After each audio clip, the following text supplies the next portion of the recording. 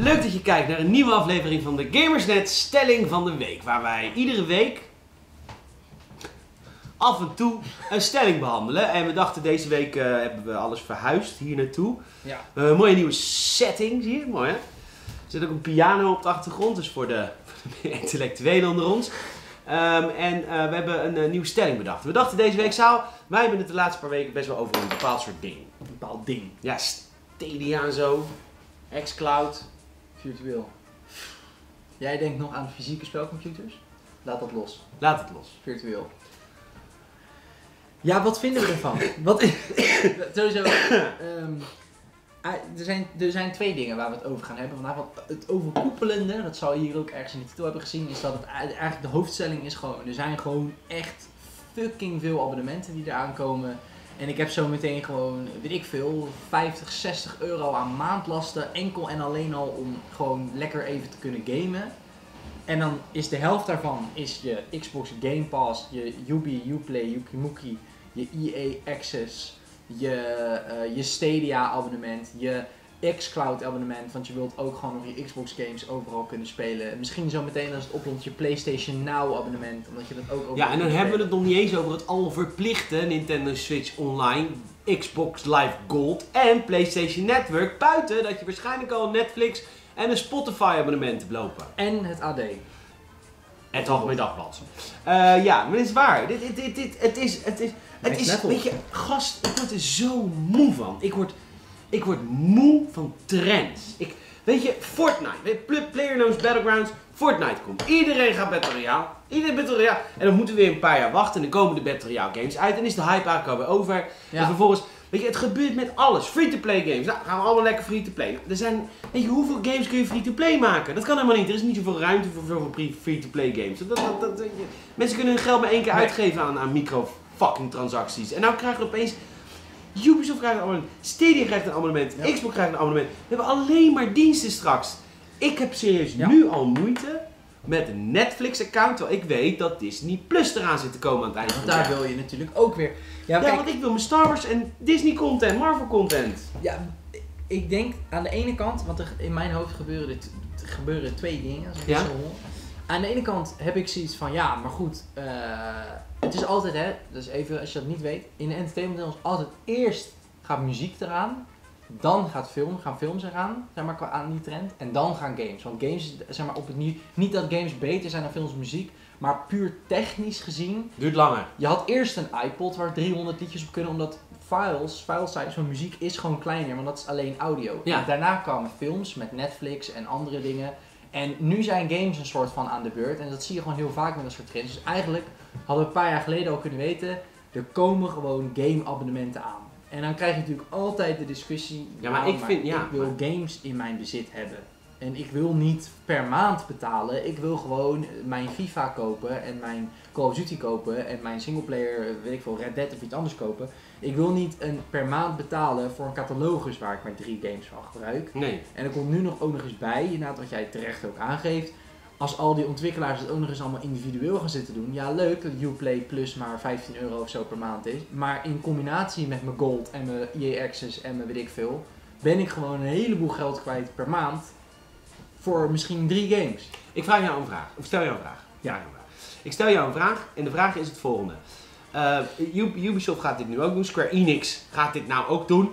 Ja. Eh, dit komt een abonnement van 50 euro per maand. Wij zeggen heel vaak, ja oké, maar wa- is dit wel rendabel voor Ubisoft? Ik vraag me dus af of het rendabel is voor Ubisoft. Heel, wij zeggen heel vaak over GTA Online, wie speelt dat nou, weet je wel. Maar goed, die verdienen nog steeds bakken met geld met Ja. hun microtransactie GTA Online. Oftewel, is er niet een hele grote markt die wij zien. En ook hebben die alleen maar het Ubisoft abonnement. Maar dat al genoeg is voor Ubisoft om te rechtvaardigen, waar gaan ze abonnementsding doen? Of denk je dat Ubisoft straks van een koude kermis thuis komt en erachter komt van, oké, ja, blijkbaar zijn mensen al verzadigd. Nou, waarom ik denk dat dit gebeurt, ehm, is sowieso lijkt me marketingtechnisch. Op deze manier kan je je inkomsten veel beter forecasten en veel beter eh, eh, uitspreiden. Dus in plaats van dat ze per game moeten gaan kijken hoeveel sales gaat het opleveren, gaan ze heel erg kijken van oké, deze game gaat een x aantal abonnees erbij trekken. En kunnen ze op die manier dus makkelijker denk ik schuiven met hun geld. Ik denk dat dat een hele grote reden is voor ontwikkelaars. En ik denk dat een andere reden voor ontwikkelaars is, eh, ehm, is dat ze je als het ware kennis willen laten maken met al hun games. Ja, Op het moment dat jij een Watch Dogs Legion zometeen zou kopen, op een schijfje of digitaal, dan koop je alleen die game en zal je nooit verleid worden om naar andere games van Ubisoft te kijken. Op het moment dat je in zo'n abonnementservice komt, misschien dat jij denkt, ha, ik ben ze te slim af te tering Fransen, want weet je wat ik doe? Ik neem een maandje Uplay Plus, ik haal dat Legion binnen, ik speel die game uit en ik, ik flikker het abonnement weer weg. Dat snappen zij ook wel. Dus zij hopen natuurlijk. nou, ze door- Frans, hè? Ja, oké. Ja. Dat is het Yves Guillemot, dus die denkt van, oh, play Legion, get it. maar Bijon! dat vindt hij helemaal prima. Bijon! Maar eh, stel nou de rest, hè, het soort van het, het, het, het marketing die die hoopt met verschillende algoritmes en met slim adverteren en slim ja, dus te verleiden van hé hey, ja, maar ik het nou Legion, waarom pak je twee niet een keertje weer op? Ja. Waarom pak je, oh trouwens Breakpoints ook, ik pak die ook even op, die zit er ook bij, pak maar even, ga maar gewoon lekker spelen en voor je het weet zit jij gewoon een paar maanden in teringzooi vast en blijf jij betalen. En besef even dat het is 15 euro volgens mij. In principe na vier maanden Heb je een game eruit? Heb je een Na game acht-. Na acht maanden twee. Ja, en ik denk dat ze dat, dat dus voor hun. ehm, Maar dat kost me ook niet heel veel om het op te zetten. nee, Je zet het een dus keer op en het geld komt binnen. Dat is een goede reden voor hun. Maar ja, voor ons gamers is het denk ik gewoon heel erg naar om. Waarom is het voor ons gamers? Je, je kan toch ook zeggen, nee, dat wil ik niet. Nee, tuurlijk, je kunt, dat is het mooie, want je kunt natuurlijk nog steeds ook gewoon games kopen. Maar Ja. het nare eraan is meer dat, ehm, nou misschien dat soort abonnementen als Ubisoft en zo niet eens per se, maar dat brengt ons dan eigenlijk bij die tweede tak. En dat zijn de, de X-Cloudjes en de Stadiaatjes, die dus eigenlijk je forceren om iets te leasen. Want je least in principe natuurlijk gewoon een hele sterke computer bij Google Stadia. Heel kort. Google Stadia, je betaalt voor je service, betaal je dat je in plaats van een console koopt, kun je in je browser nu je console games spelen. Of alle games spelen. Zo Ja. mooi mogelijk, het gaat over je streaming. Ja. Dat, is, dat is het abonnement. Alle games moet je daarnaast nog kopen. En Ja. dat is precies de reden waarom ik denk dat Stadia binnen een jaar weer weg is. Ja, ik denk dat dus niet. Ja, ik denk dat wel. Xcloud is wat anders. Xcloud laat je games streamen via je eigen Xbox. Kan, maar je kunt, dat is gratis. En dan kun je betalen om een En dat is dan Stadia. Dan moet je alsnog je games kopen. Nou kijk, nee, xCloud heeft twee onderdelen. Je kan, als jij nog geen Xbox hebt, betaald eigenlijk in de cloud een Xbox huren van, van Microsoft. Dat is in, in essentie wat je doet. Je Ja. betaalt een maandbedrag om Xbox kwaliteit games te kunnen spelen. Eh, en, maar als jij al een Xbox One hebt, zoals heel veel mensen, dan kun je ook die console gebruiken als server. Dus nu kun je op Windows 10 computers al je Xbox scherm naar je PC streamen over je lokale netwerk. Dan wordt dat breed getrokken naar niet alleen Windows PC's, maar ook gewoon naar tablets, smartphones, Android telefoons, iPhones. Ja, dus als jij in Amsterdam zit, kun je vanuit Rotterdam, je Xbox die in Rotterdam staat, kun je je game streamen naar je mobieltje in Amsterdam. Gratis en voor niks. Echt heel vet. Dat, is xCloud. Dat, is- dat is Dat is het vet aan xCloud. dat is, een dat is het gratis gedeelte van ja. xCloud. En jij hebt daar, daar geloof jij heel erg in. In je console wo- gewoon uitbreiden over meerdere schermen. Nou, waar ik gewoon niet, nee, waar ik niet in geloof. Ik geloof ook in een abonnementsdienst voor games. Ik geloof alleen niet in een abonnementsdienst voor een console. Nou, maar dat is het Dat je ding. 15 euro per maand betaalt, zodat je geen console hoeft te kopen. Ik vind dat raar. Want dan moet je alsnog games kopen voor 60 euro. Weet je hoe populair het tegenwoordig is om een abonnement te nemen op een fiets of een wasmachine? Ja, ik snap het. Ik ken jou. En ik weet dat jij dit soort dingen haat. Maar de- er zijn genoeg mensen die hier gebruik van Oké. maken. En het is niks meer dan dat. Ben ik blij dat dat niet onze doelgroep is en dat wij gewoon voor gamers dingen maken. Tuurlijk, ik heb hier ook over nagedacht. Voor een hardcore gamer maakt Google Stadia nul verschil. Waarom? Omdat je namelijk nog steeds net zoveel kwijt bent aan games kopen, wat je gewoon nog steeds gaat doen. En het andere punt is, omdat jij het hele jaar aan het gamen bent, betaal jij dat maandbedrag en na anderhalf, twee jaar heb je dan een console eruit, eruit gehaald aan die kosten. Of misschien zelfs wel na drie, vier jaar. Het enige verschil voor jou is in plaats van dat je nu 400 euro uitgeeft, smeer je het uit over een paar maanden. Ja.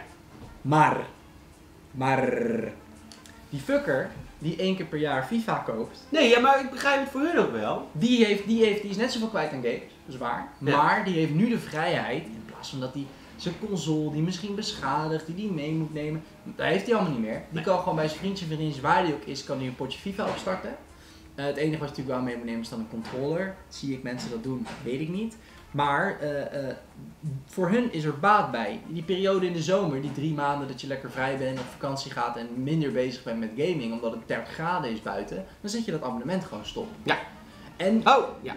dat is, dat is een voordeel. En dat is met alles een voordeel. Niet, dat, dat heeft Stadia, dat heeft Google niet uitgevonden, dat heeft Microsoft niet uitgevonden. Wat ik net zeg, een abonnement op een wasmachine is financieel misschien niet voordeliger over tijd, maar het is voor heel veel mensen ook gewoon het gemak. Als het, het kan niet stuk, het is, bij een wasmachine wordt het dan snel vervangen, maar in dit geval, hij kan niet stuk, je hoeft niks mee Ja. te dragen, je kan geen water eroverheen laten vallen, het kan niet oververhitten, je hoeft geen schijfjes meer te dragen.